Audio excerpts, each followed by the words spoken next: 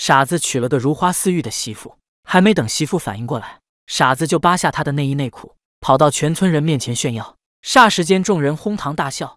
香二嫂见状，一把夺过衣服，将儿子赶进房子。上世纪九十年代，香二嫂被卖给瘸子做童养媳，瘸子丈夫什么都不会，唯有三大爱好：抽烟、喝酒、看录像，还喜欢看那种带颜色的。她无数次想一死了之，这时婆婆总会劝她，再忍忍，日子就会越过越好。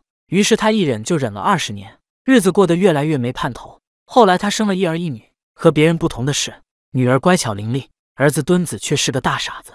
这天，香二嫂正在自家的香油店做生意。这边与外国人刚签完合同，另一边的傻儿子又闯祸了。墩子虽然心智只停留在孩童阶段，但身体早已发育成熟，